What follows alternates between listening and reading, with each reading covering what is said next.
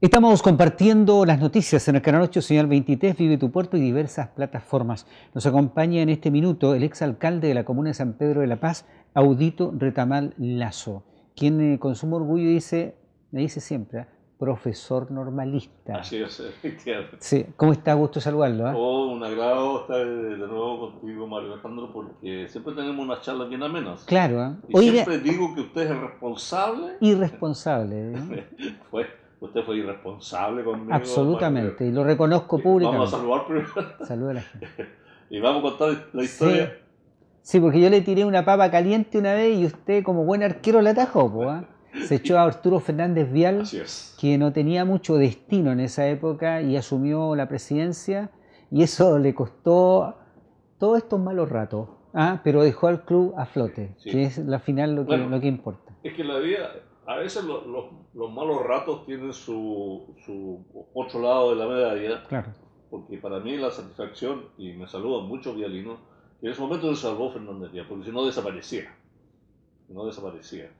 Y ahí en ese tiempo estaba el café Haití, y usted iba en camino y yo venía saliendo, y ahí nos encontramos y ahí me dijo, bueno, señor alcalde, yo estaba comenzando, y como sigo un hombre deportista, ¿por qué usted no se hace eh, presente con el Arturo Fernández Vial? Y dije, bueno, tenemos un estadio. ¿Qué mira hacer? Dijo usted. Tenemos un estadio, me incorporé al equipo y a, poco andar ya se dieron los partidos, hermosos eh, espectáculos que se dieron ahí, porque estábamos sobre la cancha, por eso le llaman la bombonera también, ¿eh?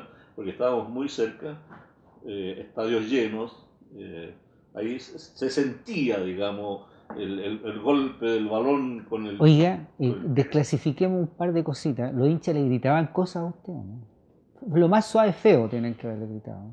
Pero era poco, ¿eh? sí, pero sí, en esto hay, muchas cosas. Tuvimos, bastantes eh, situaciones complejas, eh, sobre todo cuando en ese tiempo ya se hablaba de las sociedades anónimas y transformar el, el club en eso y también toman la decisión de qué hacemos con los campos deportivos de, de ¿cómo se llama? De, de, Chihuayante. De Entonces, porque estaban ahí sin una atención, eh, se estaban deteriorando, entonces había que tomar una decisión. Mi idea, mi idea, era vender esos campos eh, deportivos y comprar terrenos de mayor extensión y más baratos camino eh, a la salida de Concepción, donde está la, eh, la Barceló, y había, ¿cómo se llama? Un restaurante muy conocido. ¿Tú y yo? No, eh, que estaba la parece que esa, esa bueno, estaba una bajada. Abajo este, había una explanada muy, muy bonita, todavía está claro, obviamente, donde el precio de la hectárea eran 20 millones y los campos deportivos se venían en, muy buena plata. De tal manera que ahí se pagaba una deuda que tenía Arturo Fernández Vial y se podía comenzar ahí a pensar a construir el estadio. Es decir, comprar 5 hectáreas eran 100 millones de pesos. Claro, tiene razón. 100 millones de pesos. Y con eso ya, con el aporte distinto se podía haber pensado. Podría haber tenido entonces Arturo Fernández Vial. Oiga, una vez había una crisis como tanta en el fútbol y en Fernández Vial. Y citaron una vez a los hinchas a la plaza, eso yo no me voy a olvidar jamás. Ah, ¿ah? En la Plaza Independencia, los hinchas lo único que querían eran ahorcar a los dirigentes, ¿ah? que no vengan para acá por ningún motivo y estaban con los tambores y de pronto, y ya Vial y no, nada. Y de pronto aparece usted a la distancia el presidente viene ahí y lo hincha, ¿y qué, qué, el presidente al que queremos nosotros tumbar? Bueno, ahí usted estableció un diálogo con ellos y terminó saltando con ellos con la bandera vialina. ¿eh? Así es. Lo que es el diálogo y el debate, decía yo después. ¿eh? Y, lo acuerdo. Y también el coraje y la claridad con que uno tiene que enfrentar. Y, y poner la, la, pues. cara al frente. ¿eh? Pues. Sí. Entonces, ¿Cómo usted cree que es recordado por los hinchas vialinos Me saludan mucho, me saludan con agrado, mucho agrado y cuando voy al gimnasio, al gimnasio a practicar en Yacolén, por ejemplo, y voy con la camiseta del diario, a distancia, ya, me saluda. Bien, ¿eh? Bueno. Tiene, tiene, un timbre que va a ser muy difícil de sacar de las, del, la ciudadanía de los deportistas. Sí, y que, y que, como todos los clubes de la zona tengan larga vida, de alguna u otra manera hay que arreglárselas para mantenerse a flote. Entremos al área chica, a propósito de la política. ¿En qué anda Audito por, eh, por estos días? Bueno, eh, he sido abordado por eh, diferentes personas de distinta naturaleza, en distintos lugares, de distinta edad, pero fundamentalmente los, los mayores eh, los jóvenes en menor, en, menor, menor, grado, tengo que decirlo, y eh, me están proponiendo eh, la vuelta de, de, nuevo al ruedo. ¿Y usted lo, lo conversó con la almohada eso? Lo primero que conversé con mi familia, mis hijos y, la señora. de primera, obviamente, ellos no querían porque saben del sacrificio que eso significa. Pero aquí hay un, un, un sacrificio superior que es la ciudad. Una ciudad que se construyó y creció y estuvo en el escenario nacional por muchos, muchos aspectos. Entonces eso es lo que eh, estamos en la línea de la definición final. Estamos conversando con distintos eh, eh, gremios, con distintas personas, con distintos amigos, que les parece muy buena la idea y que podrían estar entonces en un equipo que pudiera estar de nuevo disputando eh, la posibilidad de ser alcalde nuevamente para San Pedro de la Paz. ¿Usted entiende que el escenario político hoy día es algo bastante, no sé, o todas las anteriores, diferente al momento en que usted ejercía? Hay un ambiente diferente en, el país por, por, muchas cosas que acontecen, sobre todo en la política. ¿no? Sí, eh, se, se, ha desconfigurado el escenario. Eh, Chile ha cambiado notoriamente y hoy día, eh, de hecho, de menos el respeto que antes habían por las posiciones, la discusión. Eh, yo creo que la discusión es necesaria, absolutamente necesaria. Eh, eso, plantear tu punto de vista, acoger el punto de vista del, del, del que está interlocutando. ¿Por qué razón? Porque mi posición discutida con alguien que no está en mi posición me permite eh, mejorarla eh, eh, o ponerla en equilibrio y decir estoy bien, estoy mal. Y a la vez aquel otro también acoge la diversidad que tiene que haber en las opiniones. A mí me parece que efectivamente falta conversación, falta más amistad política, pero, pero fíjate una cosa, estuve en el partido de Colo Colo River Plate y me encontré con antiguos alcaldes, otros alcaldes. Y me sorprendió extraordinariamente el cariño con que me saludaba. Y, obviamente también el mío, el respeto hacia él. Eso indica que no lo hicimos tan mal. Eso indica de que nos podemos conversar. Y es necesario conversar y discutir. Ahora, de esa tiene que salir algo claro, preciso, que favorezca a mucha gente. Ese es el objetivo de, el objetivo de la política es ese, el arte de, llegar a tener acuerdo, el arte de poder servir, como decía Rabindranath Tagore, el arte de servir. Y el que, nos sirve, el que no vive para servir, nos sirve para vivir. Sabe, yo sé que usted no, no, va a meter su nariz más allá porque tiene un, respeto, ¿no es cierto?, por, por la actual gestión. Pero mira usted al San Pedro de la Paz de hoy desde el municipio, desde la gestión actual, desde su cuerpo de concejales, no sé, funcionarios, eh, ciudadanos, ¿cómo lo advierte? Eh, veo gran preocupación en muchos muchos sectores. Eh, tiene algunas debilidades eh, cada uno sabe lo que está planificando y, de quién se rodea para, para él. Y ahí yo veo también entonces que no hay una claridad en, en la conducción. Eh,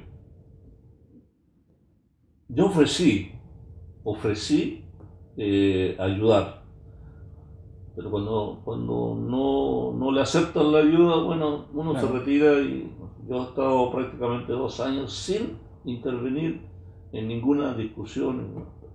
Bueno, llegará el momento de decir eh, eh, cuáles, son, cuáles son esas debilidades y cuáles son las propuestas que se tienen para poder estar dirigiendo la ciudad. Muy bien.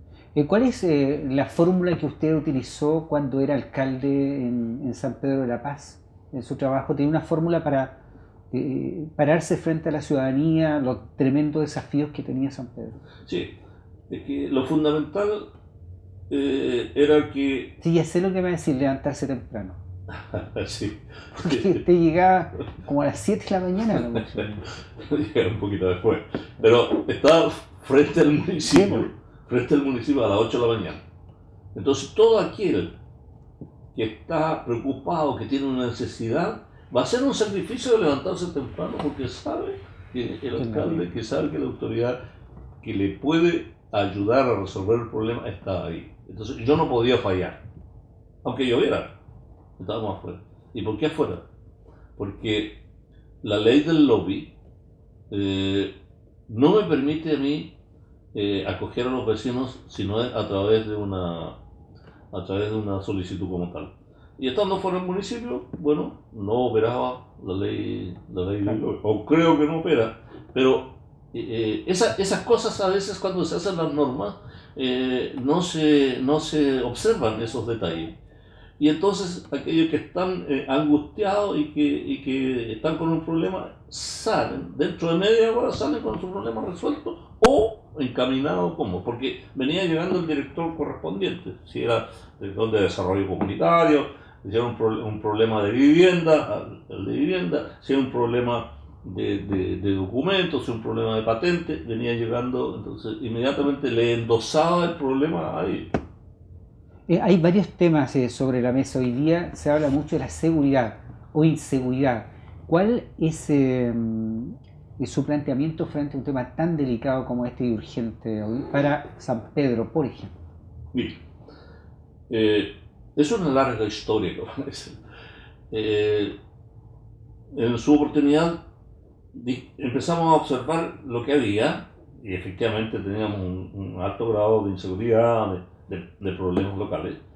Y dijimos, bueno, ¿quiénes son los que más saben sobre seguridad? Israel. Entonces hicimos una visita a Israel, encontramos los contactos y estudiamos todo el sistema que tiene. Y ciudades difíciles, ciudades complejas, porque también las tienen, o las tenían. Ahora mucho más. Eh, entonces eh, fuimos e invitamos a expertos y llegaron aquí a San Pedro, hicimos una reunión, eh, en Becolén fue, hicimos una reunión ampliada con los vecinos y empezamos a analizar. Entonces, eh, lo que hicimos fue hacer un plan de instalación de cámaras. El óptimo eran 80 cámaras para la ciudad. Eh, había 60 ya en acción, digamos. ¿Qué permitía eso? Eh, un término que yo utilizaba, sobrevolar la ciudad. Y teníamos entonces una central que monitoreaba estas cámaras y otras cámaras, 250 cámaras que estaban en los colegios y jardines infantiles, porque también nos robaban en las escuelas y en los jardines infantiles. Entonces estaban monitoreadas, bajó pero notoriamente eh, la comisión de delito. Llegamos a hacerlas, estar en el lugar la cuarta ciudad de Chile más segura, la cuarta, porque también teníamos drones. Y después se compró todo un equipo de, vehículos, todo un equipo, se, se creó la dirección de, eh, de, seguridad. No es el departamento ni la oficina, no, la dirección. Es decir, el rango del director es aquel que toma decisiones, aquel que tiene un equipo, aquel que puede entonces eh, también generar proyectos para que constantemente se estén alimentando, alimentando, alimentando, porque lo que pasa en Chile es que aquí los proyectos a veces son de un año, dos años, son de seis meses y después hay que repostularlo, repostularlo y puede que no la continuidad se pierda. Eh, Nosotros teníamos eso, continuidad. ¿Le dejó alguna huella a usted el hecho, bueno, no, no es autoridad actualmente en San Pedro de la Paz, le dejó alguna huella el 1 de septiembre cuando hubo un trágico accidente en que murieron 14 personas ahí en, eh, en un cruce ferroviario justamente en, en, San Pedro de la Paz. Me voy a retrotraer a cuatro años atrás. ¿Qué es lo que pasaba en ese mismo lugar? Y quizá un poquito antes. La entrada o salida de Boca era de dos pistas nomás. Se hicieron cuatro pistas. Por lo tanto, eran dos para entrada, dos para salida, la matemática no falla. Pero en la salida, en las mañanas, colocamos tres pistas de salida, pero observadas por un vehículo de seguridad ciudadana. Que está ahí. Que estaba ahí. No hay. Para la disciplina, para el orden, no hay nada que lo presencial. No hay nada mejor, nada más seguro. Estaba ahí. Y, muchas veces un carabinero cuando se podía disponer de carabinero. No tuvimos accidente. Ahí no tuvimos accidente. Tuvimos otro en, en un poco más allá, pero también bajo las mismas características y cruzaron la línea. Entonces, había que anticiparse a la acción. Y al anticiparnos entonces nunca tenemos problemas. Y eso es lo que yo he hecho de menos. Ahí esos, seis vehículos de eh, seguridad ciudadana que no están, o en ese momento no estaban eh, eh, en el lugar correcto, en el momento preciso. Usted tocó, tocó ese tema, el tema vial en San Pedro, y se lo voy a preguntar siempre. ¿Hay fórmulas para terminar con, con eso, con, con esa penosa calidad de vida de los sanpedrinos? en la estación Juan Pablo II con, el tema ese del, tren que no podía pasar, realmente inhumano todo eso. Mira, hay alternativas eh, que son relativamente simples, digo relativamente simples.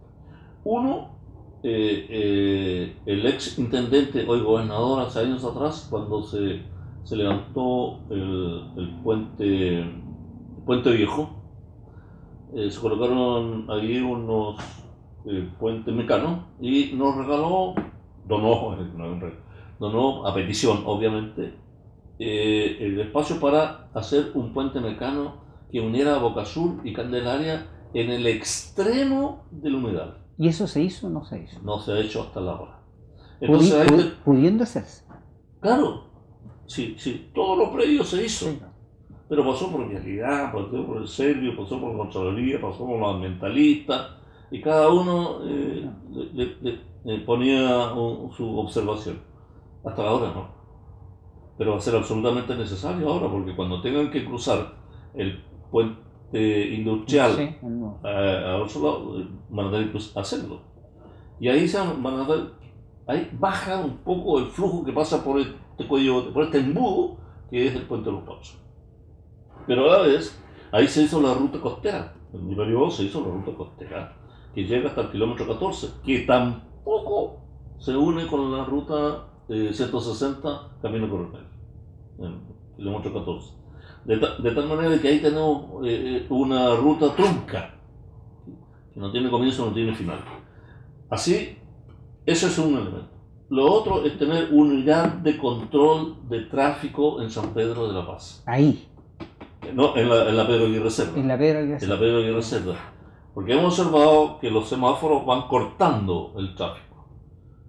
Si hubiera una conexión de colocarle en, en, en, verde por más minutos los vehículos y coordinados, los vehículos podrían pasar en poquito tiempo.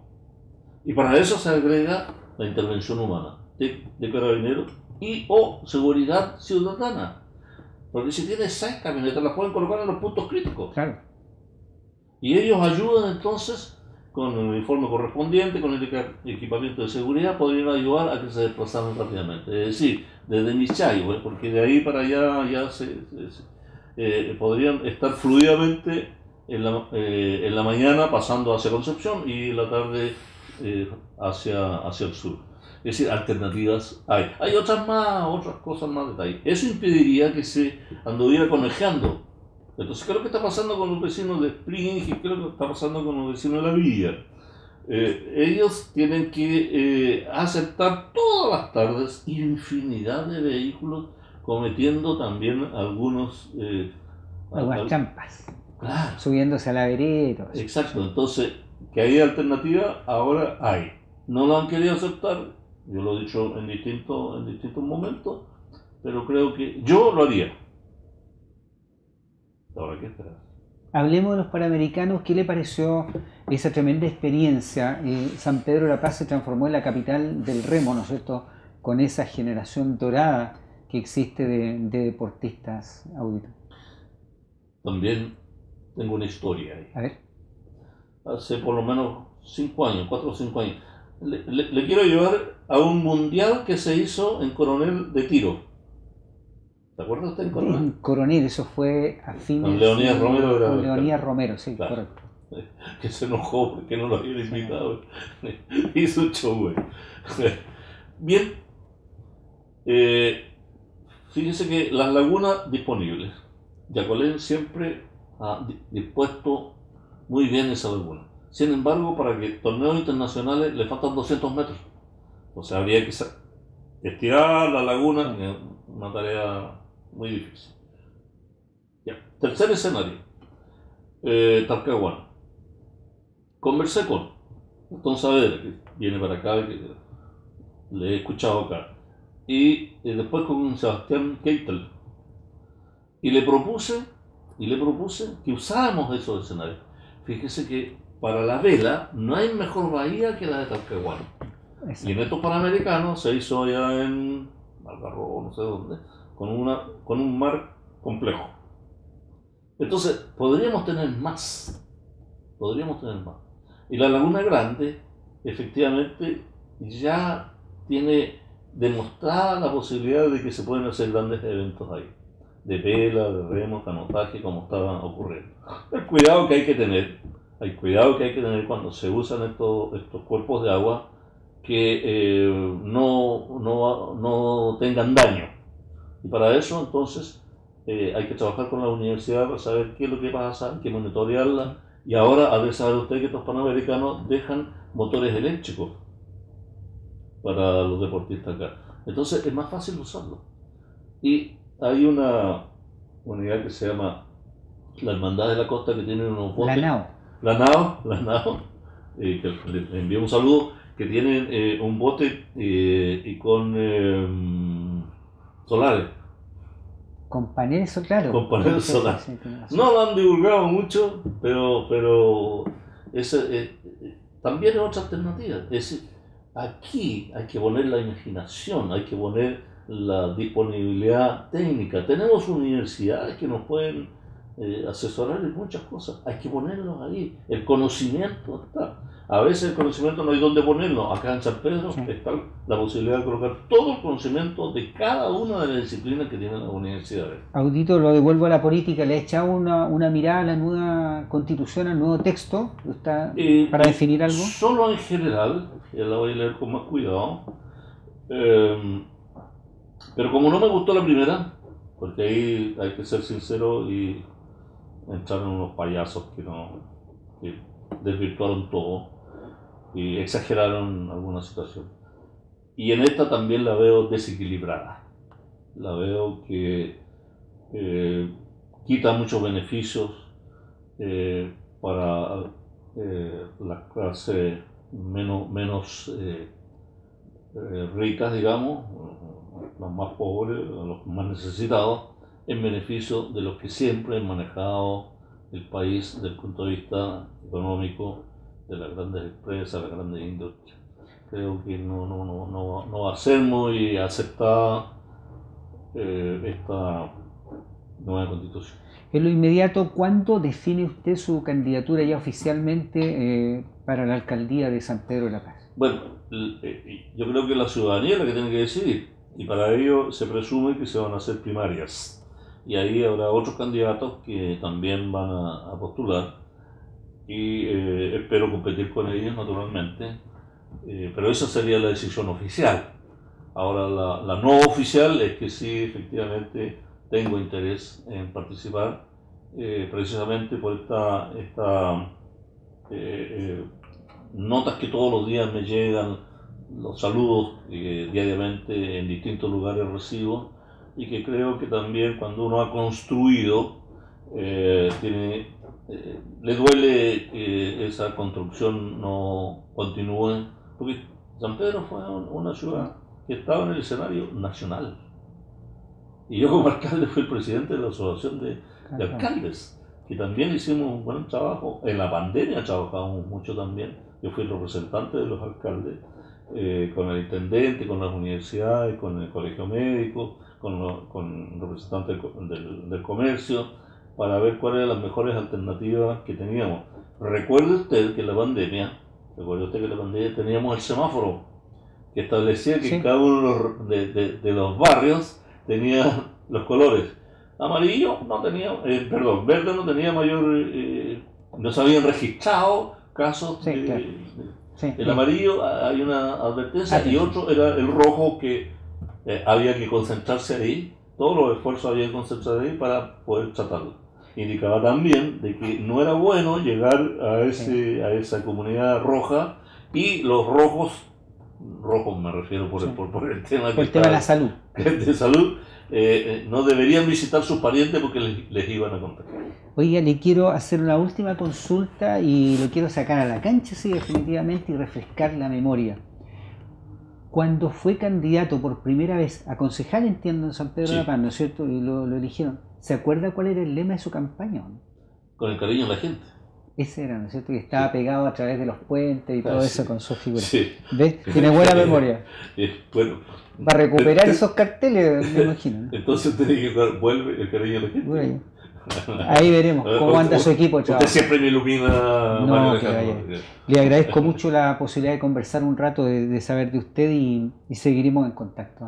No, yo le agradezco mucho porque no siempre se puede tener una grata charla con alguien que yo estimo mucho, se lo digo con sinceridad, y que eh, tiene también una, una mirada bastante certera de lo que es la realidad. Claro, lo importante en este canal es que los invitados hablan. Ah, sí. Ese, que les, que en otro, en no, habla el entrevistador. Claro, habla claro, exacto. No se entiende nada. Muy bien, que le vaya eh, bien. Gusto de saludarlo. Igualmente. Muy bien, pues nos ha acompañado el exalcalde de la comuna de San Pedro de la Paz, Audito Retamal Lazo. Volvemos en un instante.